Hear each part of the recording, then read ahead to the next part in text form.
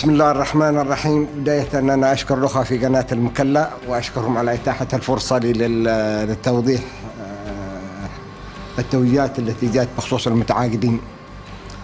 بداية دعوني أولا أن نوضح النقاط التالية. هو قرار مهني بحت ما له أي علاقة بالتوجهات السياسية ولا له أي علاقة بالصراعات السياسية ولا الحزبية. كان قرار مؤسسي بحت ويشمل كل فروع مؤسسة الاتصالات بالجمهورية كل الفروع سواء كان المحافظات الشمالية أو الجنوبية. كذلك يشمل المعهد العام للاتصالات يشمل الإدارات العامة كلها اللي في صنعاء. كان تعميم وله أول تعميم كنت سبقته تعاميم سابقة. نحن حاولنا قدر الإمكان أن إحنا نحتفظ بالأخوة الزملاء اللي كانوا متعاقدين معنا حاولنا مع الإدارة العامة شرحنا لهم الأمر. ولكن في الأخير لابد أن نمتثل للتوجيهات. نحن مؤسسة مهنية بحتة. لنا قيادة لابد أن نمتثل لتوجيهاتها. آه، طبعا إحنا بلغنا الأخوة في قيادة المؤسسة في عدن. والحقيقة نحن العلاقة بيننا وبين كمؤسسة اتصالات ما لنا علاقة مباشرة بالوزير أو بوزارة الاتصالات. نحن نتعامل مع مدير عام المؤسسة. الوزارة تشمل الاتصالات تشمل البريد تشمل أيضا الشركات الأخرى تبع ال- الهاتف النقال. فاستلمنا التوجيهات من مدير عام المؤسسة. والأمر ساري على جميع فروع الجمهورية. شفت؟ ما له علاقة بمكتب سياسي ولا له علاقة ب... نحن علاقتنا بمؤسسة الاتصالات. الوزارة ما لنا علاقة بها. شفت؟ التوجيهات نتلقاها من مؤسسة التوجيهات بشكل مباشر. الوزير لو عنده توجيهات أو حتى نحن لو بنخاطب الوزير نخاطبه عن طريق مدير عام المؤسسة إنما ال- ال- ال- المتعاقدين بيتواصل مع الوزارة بيتواصل مع المؤسسة ما عندنا مشكلة. حتى لو نحن الآن معنا خانات جديدة المؤسسة ما قدمت على الخطوة هذه إلا عندها خانات جديدة. الأخوة المتعاقدين اللي كانوا متعاقدين معنا بإمكانهم نحن بنشعرهم برضه بإمكانهم التقدم لدخول الوظائف الجديدة. الوظائف بتكون متاحة للكل سواء كان ال- اللي موجودين الآن متعاقدين أو الآخرين. الهدف الهدف من من من عمل امتحانات المفاضلة إن إحنا نختار الأفضل بعيدا عن ال- الوساطات بعيدا عن إنه هذا أخوي إنه الواحد يدخل بمحاباة. يكون الناس كلها الفرصة متاحة للجميع. المؤسسة عملت من سابق. طبعا هم التوظيف متوقف. كل الأنشطة مش بس التوظيف حتى المشاريع كلها متوقفة من بعد 2011 كل شيء توقف. كان من سابق نعمل سنة توظيف سنة ما فيش. كان سابقا هكذا. الآن التوجه اللي مع المؤسسة بتفتح خانات جديدة نحن معنا هيكل جديد تم اعتماده وتم تنفيذه. وأكيد في خانات جديدة بتفتح. ترك الأمر لكل محافظة تعمل امتحانات قبول ومفاضلة من أبناء المحافظة. طبعا الأخ المحافظ طرح علي السؤال هذا. علي الجماعة اللي بيخرجون من بيكون الوظائف من بي بي بي بيشترك فيها من بي بيدخل المفاضله اكدت له إنه جميع المتقدمين للمفاضل بيكونوا من أبناء حضرموت. ما بنجيب حد من خارج المحافظة. هو التوجيه دي كالتالي إلغاء التعاقدات الحالية. إلغاء التع... وعدم استحداث تعاقدات جديدة. لكن هذا التوظيف توظيف بنعلن عن وظائف بتتبنى هذا كلام مؤسسه العامه للاتصالات. بنعلن عن وظائف بنعلن عن اختبارات قبول بنعلن عن مفاضلة بين الناس كلها. الفرصة بتكون متاحة للجميع. ال- حاليا الوضع القايم كل الموظفين مؤسسة الاتصالات في الجمهوريه تصرف المؤسسه العامه للاتصالات. نحن ال- ال- الرواتب ندفعها من إيراداتنا. شفت ما له علاقة ال- ال- الجوانب السياسية. أنا ما أنا داري ليش تنحب الموضوع؟ جانب سياسي. الجانب مهني بحت. نحن مؤسسة ذات استقلالية تامة ماليا واداريا. الآن هذول الأخوة المتعاقدين السلطة المحلية. هذول بالمناسبة فرضوا علينا. مش طلبناهم نحن ومش متعاقدين معنا. كل الموظفين الم- الرسميين الآن حاليا مع المؤسسة العامة للاتصالات هي المؤسسة العامة للاتصالات تدفع المستحقات حقهم. فما هو معقول؟ بتوظف موظفين جدد وبتقول أنا ما بدفع الرواتب.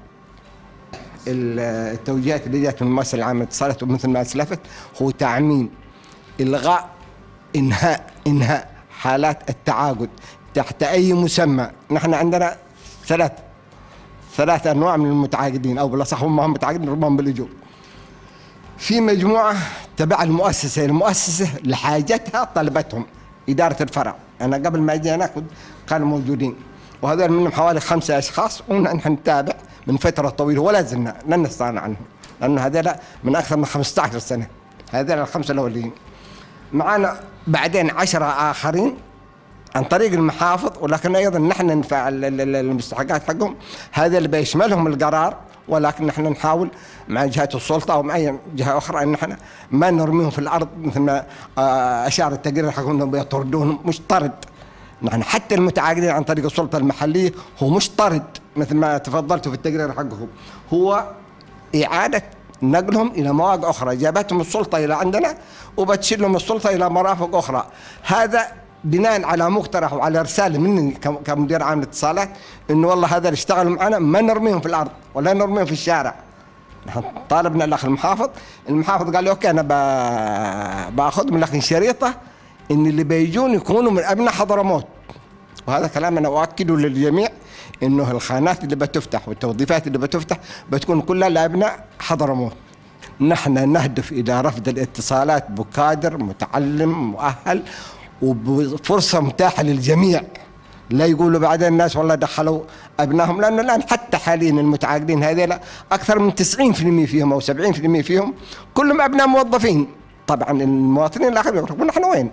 التعميم شامل كل فروع مؤسسة الاتصالات بالجمهورية شامل إدارات العامة في الجمهوريه الناس لهم 20 سنة في صنعاء.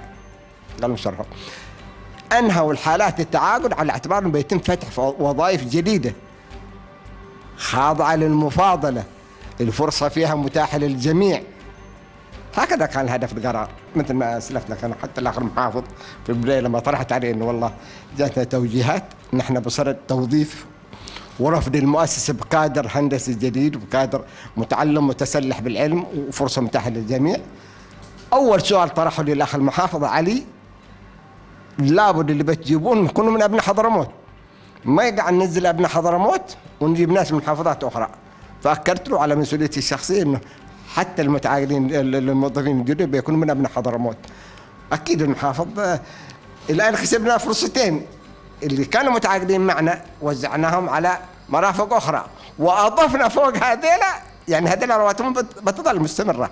وأضفنا لها خانات جديدة بيتم فتحها للمواطنين المتعاقدين هذول فرضوا علينا السلطه المحلية. ما كانت فرصة متاحة للجميع. وبتفتح لهم الفرصة ليدخلوا امتحانات المفاضلة. وأنا بأشعرهم لما نعلن عن الوظائف الجديدة بأشعرهم هذول على اعتبار لهم أولوية. أكيد. لا نستغنى عن خدماتهم.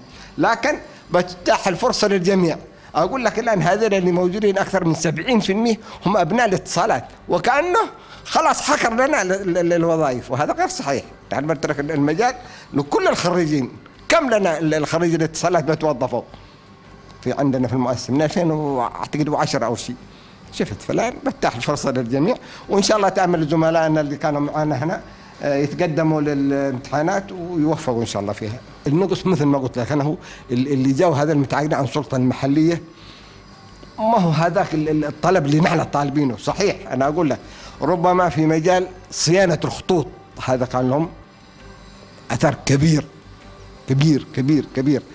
إنما بقيه المجالات يعني كما التراسل كما السنترال كما آه، النت كما هذا عندنا الحمد لله كادر متميز والأمور الحمد لله مستمرة ما ما, ما ذاك صحيح ربما نتاثر في مسألة صيانة الخطوط ونتأمل إن شاء الله ان إحنا نتجاوز المرحلة هذه خلال الأيام القادمه. الإصلاحات كلها عندنا كادر هندسي متميز أنا سبق في في مقابلات أخرى ربما لا تكون معكم أشرف لأنه نحن الحمد لله الفرع في كادر متميز جدا في مجال التراسل مجال السنترالات مجال حتى القوة والتكييف ويشهد بذلك إنه حتى لو حصل خلل فني بسرعة المهندسين يباشروا باصلاحه ما قد حصل خلل وجلس فترة طويلة الحمد لله.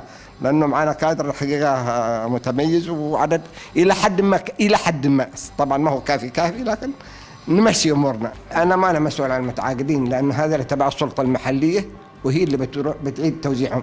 أنا طرحت التحفظ أنا التقيت بالأخوة المتعاقدين لما التقيتهم ووضحت لهم إنه والله شيء طيب ان إحنا في فرع في فرع المكلا ربما الفرع الوحيد اللي عاد نحن تمينا محافظين على المستحقات المالية. وبالفروع الأخرى قال لهم والله مع السلامة من بكرة لا تداومون لكن إحنا لا. يا سلطة المحلية هذه تبعكم المتعاقدين وزعوهم على مرافق أخرى بحيث إنه نضمن استمرارية المستحقات المالية حقهم والرواتب. أنا مدير الاتصالات دلوقتي في ساعه الحضرموت ومسؤول على كلامي. الأستاذ صادق مصلح رجل فاضل ومدير عام مؤسسة العامة للاتصالات والكل يشهدوا بالكلام هذا.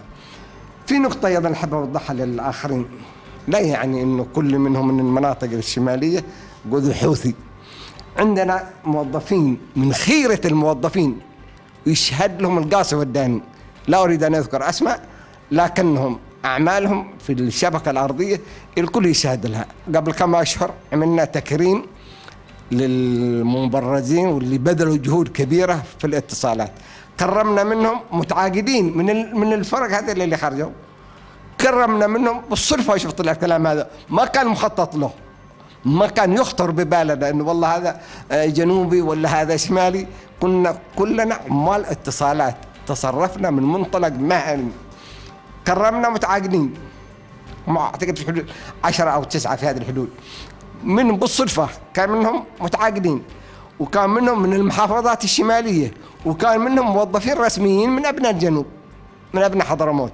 ما كان يخطر ببالنا إن تصنيف مذهبي أو تصنيف حزبي أو تصنيف سياسي مثل ما أسلفت لك نحن نرسل الإشارة حقنا من برج الاتصال. ما نقول له والله روحي لعن فلان ولا روحي لعن فلان. نبث إشارة لجميع الناس. الإيرادات ما ترسل لصنعاء معلومة خاطئة. جميع الإيرادات حق الاتصالات حق المؤسسه عامل الاتصالات ما أكلمك على الشركات الاخرى أنا أكلمك على مؤسسة عامة للاتصالات. التليفون الثابت والنت هذا تبع المؤسسة العامة للاتصالات. إيراداتها تبقى داخل حضرموت ما نرسل شيء لصنعاء تعرف؟ وجانا تعميم جاء تعميم من البنك المركزي إنه يمنع تصدير إرسال الفلوس للإدارة العامة في صنعاء. وبرضه ما نستلمش من صنعاء. نحن أمرنا نمشيها من عندنا. نحن نحتاج ما لا يقل عن 15 شخص. ما لا يقل. طبعا المؤسسة بتعطينا إحنا وفقا والنصيب المعتمد بالجمهورية كل محافظة وفقا والاحتياج حقها. رفعنا احتياجاتنا.